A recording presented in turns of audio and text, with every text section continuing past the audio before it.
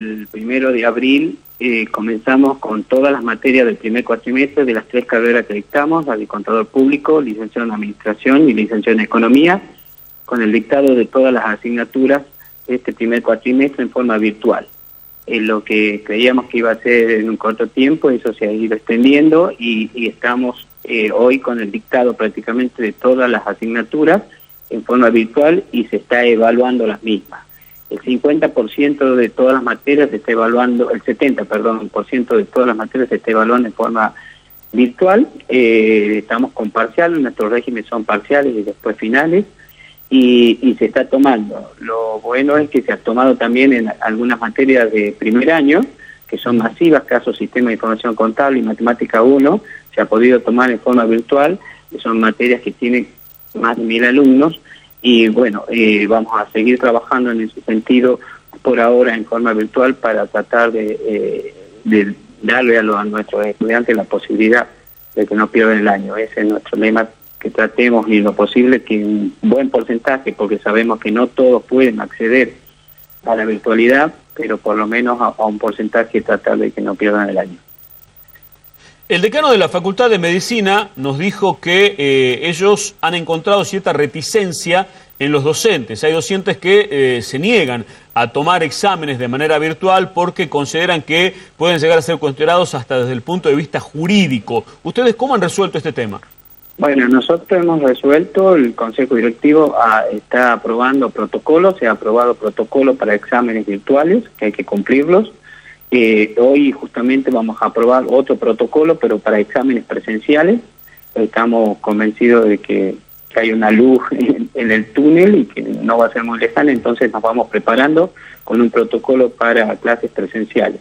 Nuestros docentes, eh, la verdad que quiero felicitarlos porque todo, todos los docentes de todas las asignaturas, no hay ninguna asignatura que se haya negado a dictar en forma virtual eh, creemos que están dadas las condiciones, desde el rectorado también se ha hecho eh, resoluciones para avalar los exámenes virtuales, así que no creo que tengamos ningún problema jurídico con respecto a ese tema. ¿sí? También hemos decidido que el día del 6 al 8 de julio vamos a dar mesas especiales para aquellos estudiantes que le queden cuatro materias o menos, en el cual se lo va a evaluar en forma virtual. Son mesas especiales que se daba todos los años, en este año también la vamos a ir dando del 6 al 8 de julio. En esta semana son las inscripciones para esos alumnos en esas condiciones. y bueno, eh, vamos a seguir trabajando por ahora eh, con la virtualidad. Decano, eh, ¿cómo le va Ángel Suárez? Le saluda, buen día, ¿cómo está usted? ¿Qué tal? Buen día. ¿Cómo interpreta usted, si entiende, si por ahí también hasta puede participar de la idea de los chicos que están reclamando que van a iniciar de protesta diciendo ah, habilitan bares, restaurantes, flexibilizan comercio y no se puede ir a las aulas con protocolos. ¿Y qué va a pasar con la, inscripción o el ingreso 2021 en la facultad, eh, en este caso de Ciencias Económicas?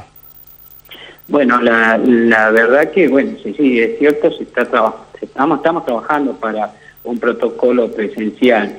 Eh, no es solo 60 alumnos que se toman, lo que pasa es que eh, muchas veces los exámenes termina uno y comienza otro, termina uno y comienza otro. Entonces, el flujo de personas que, eh, que, hay en, la, en cada facultad es mucho más de un examen en que puedan tener 60 o 70 personas. El flujo se va aumentando y entonces hay que tener cuidado. Por eso, eh, en ese sentido, nosotros nos adelantamos con un protocolo presencial, pero por supuesto que eso va a ser evaluado por el COE y cuando nos den la autorización creo que vamos a volver creo que no estamos muy lejos, será agosto, si Dios quiere, o septiembre, eh, donde sí creo que es necesario porque hay algunas materias que no se las puede tomar en forma virtual y, necesitamos eh, la presencialidad para las mismas.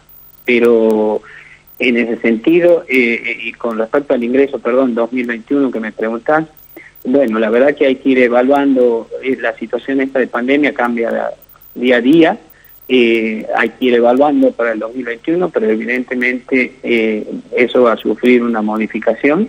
Creo que las clases van a empezar un poquito más tarde porque hay que tener en cuenta el nivel secundario, cómo va a terminar y cómo van a evaluar a los chicos de quinto año, que son los que eligen las carreras en nuestra universidad. Bueno, eso es todo trabajar, consensuar y, y tratar de que el 2021 comience con normalidad.